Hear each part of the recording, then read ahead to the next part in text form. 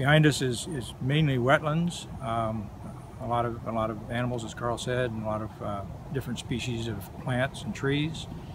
And what's proposed is to clear cut a good portion of that to uh, develop four homes per acre and to put in several stormwater retention facilities and leave a little bit of wetlands, but they won't be contiguous. There'll be separate little spaces of wetlands, uh, which won't be enough for the animals that are back there now.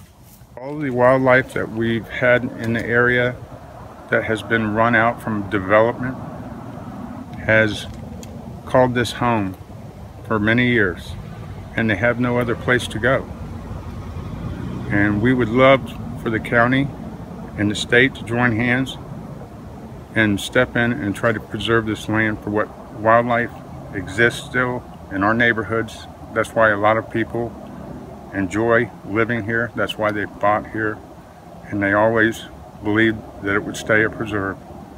I see deer on a daily basis, wild boar, bobcats, uh, coyote, uh, eagles, gopher tortoises. I mean, a good number of species. Foxes. Foxes. Rattlesnakes. And rattlesnakes, of course.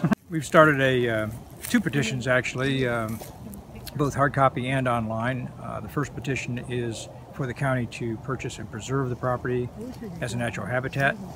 The second petition is to deny the rezoning. The developer has to have it rezoned in order to build multiple homes per acre, and we would like it to remain zoned, at least in the short term, for one house per acre, and then eventually be made into a preserve for the wildlife.